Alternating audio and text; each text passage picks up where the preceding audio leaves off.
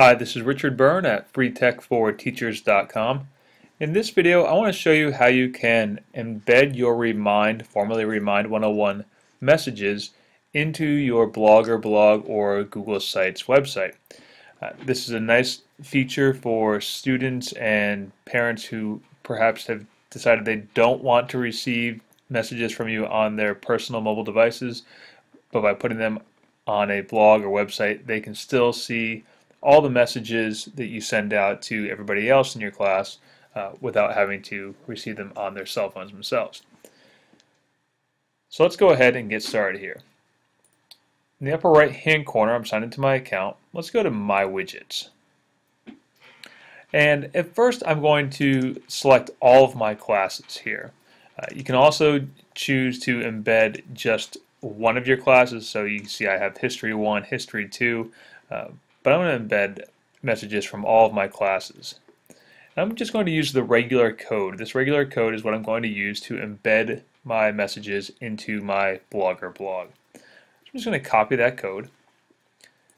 And now here in my sample Blogger blog, I am signed in and I have the layout option selected. Let's go ahead and add a gadget. And the gadget that we're going to add here is the HTML gadget. Let's go ahead and click the add button. And now I'm just going to paste in that code that I copied from Remind. You can give it a title if you want to, but it's not necessary.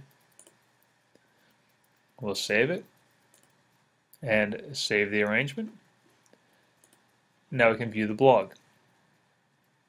As you can see here, this is a blog I made for a bunch of random things at some point. And over here on the right hand side, we now see those messages embedded into the blog. So anyone visiting the blog can see those messages.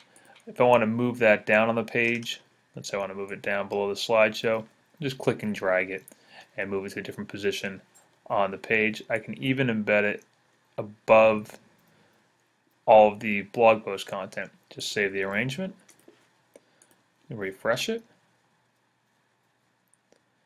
And now we'll see that the widget is there above the main blog post content.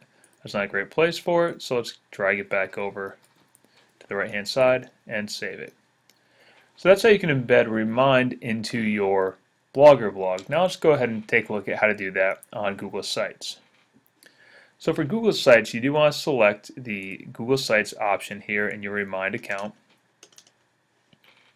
and again copy that code and then just follow the directions that remind gives for you.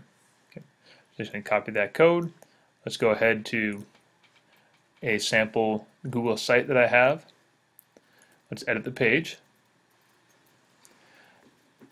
And we're going to insert a gadget. We'll go to more gadgets.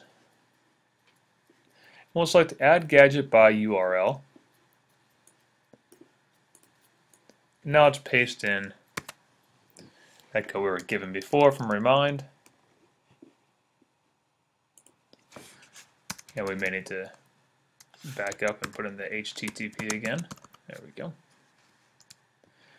Make sure we don't have any extra spaces in there. And now click Add.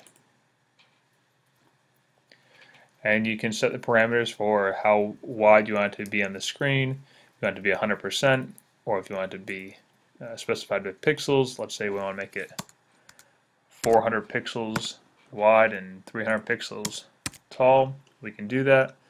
We'll include a scroll bar.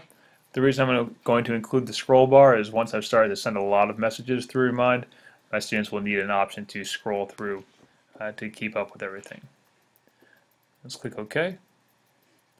And at first it's going to appear as just this gray Google gadget. So let's save it.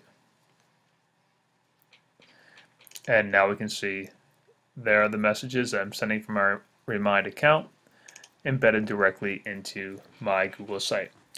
So that's how you can embed Remind messages into your Blogger blog or Google site. The process is the same if you wanted to use it on Wix. Uh, you can grab the Wix code and place it in the appropriate place on your Wix site. And if you're putting this into a self-hosted WordPress blog, again, you use the regular, uh, regular code that's available through Remind. So for more tips and tricks like this, check out freetech4teachers.com.